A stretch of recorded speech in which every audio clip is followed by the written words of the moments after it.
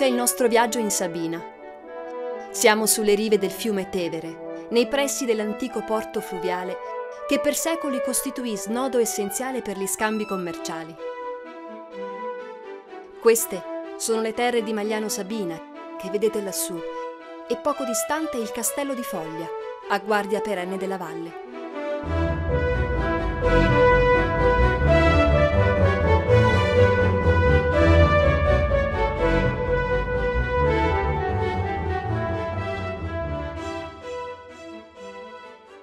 Castello di Foglia è costruito su una rocca tufacea che domina un'ansa del Tevere in territorio sabino. Era la zona che attualmente è fra Civita Castellana e Magliano Sabina. È costruito su un insediamento precedente, come tutte le costruzioni che ci sono in questa zona. Ci sono praticamente 3.000 anni di storia che iniziano con i primi insediamenti che furono fatti dai protolatini in questa zona. Il toponimo attuale Foglia deriva sicuramente dal nome fauna che poi muta in faula che poi muta finalmente in foglia.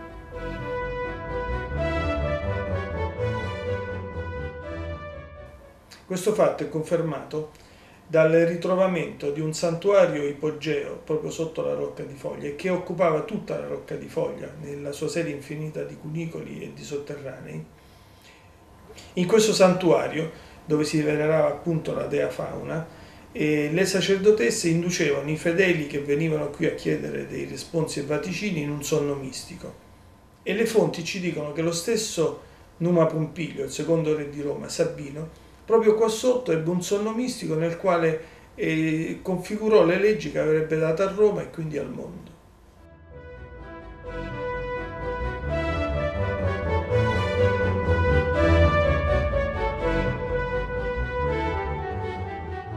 Foglia ha avuto un ruolo fondamentale nella strategia dell'insediamento dei Sabini nell'Alto Lazio, proprio perché aveva il controllo dominante del, dell'approdo eh, sul fiume Tevere e del guado. La sua funzione di controllo, data dalla sua posizione strategica, ha avuto una, il suo ruolo fino alle guerre sociali che hanno permesso poi ai romani di controllare anche questi territori.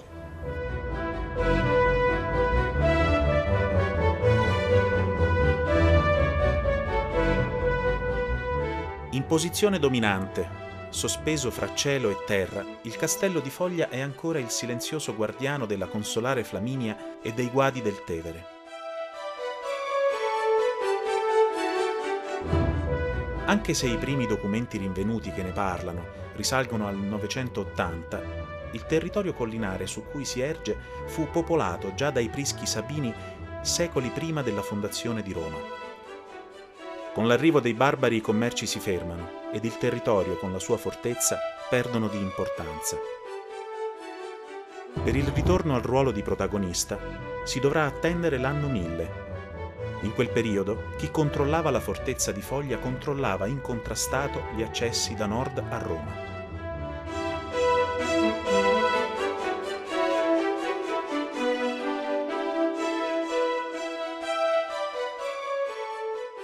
Dopo la caduta dell'impero romano non ci sono altre notizie su queste zone, che sono state come tutte le altre zone del Lazio, preda di scorrerie, prima dei barbari, poi dei saraceni. Tanto che le popolazioni si insediano in quello che era il vecchio santuario trasformato poi in necropoli e poi in abitazioni rupestri. Le prime notizie di una rinascita di questa zona alla storia si hanno con le tracce documentali di una porta castrum folie, dell'anno 980 d.C. Successivamente su questa rupe si innalza un castello che avrà una importanza strategica fondamentale perché di nuovo controlla le vie di accesso da nord a Roma. Insomma, chi controlla Foglia controlla il guado della via Flaminia sul Tevere e controlla il porto fluviale. È per questo suo carattere di evidente rilevanza strategica che il castello probabilmente fu scelto come ricovero da Federico Barbarossa e da Papa Alessandro IV. Distrutto nel 1241 nel corso di uno scontro armato fra Roma e i fuoriusciti ghibellini di Viterbo, Giovanni Gaetano Orsini, allora papa con il nome di Nicolò III, lo infeudò ai suoi familiari che ebbero qui il fulcro dei loro domini nel Lazio settentrionale. Con la ripresa dei commerci l'antico porto sul Tevere riprese il suo antico vigore.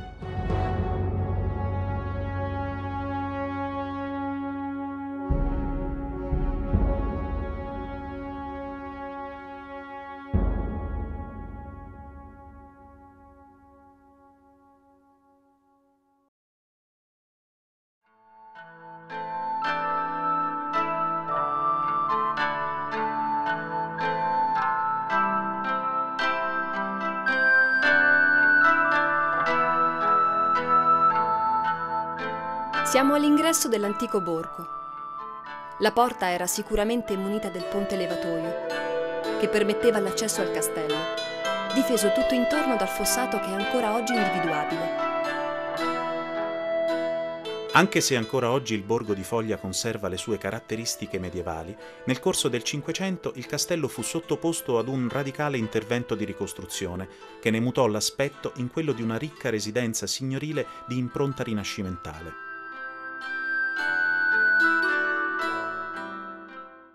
La situazione del castello di Foglia cambia radicalmente nel XVI secolo.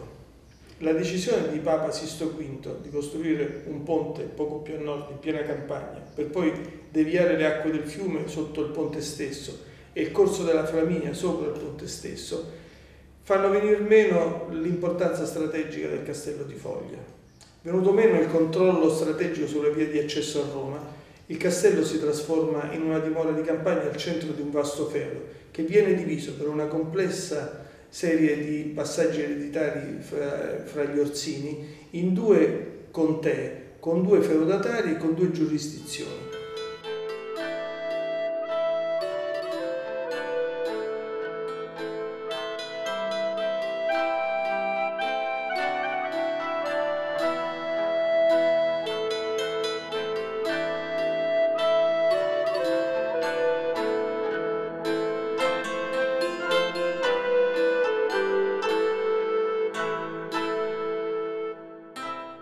Due rami della famiglia Orsini si insediano nelle due ali del castello.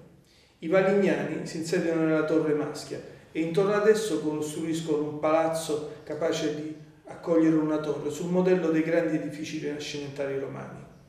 I De Rossi si insediano nella ala vecchia che rimane inalterata fino ai giorni nostri.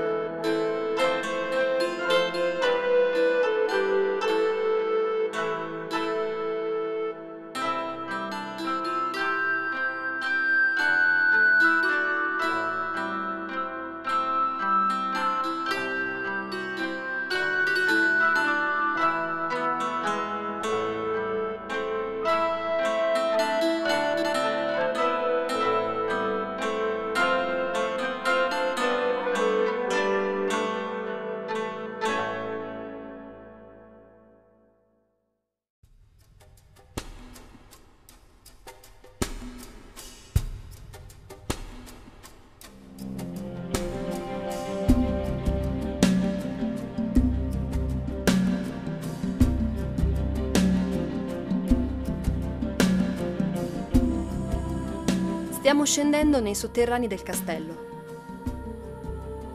C'è un'incredibile quantità di cunicoli scavati nella roccia.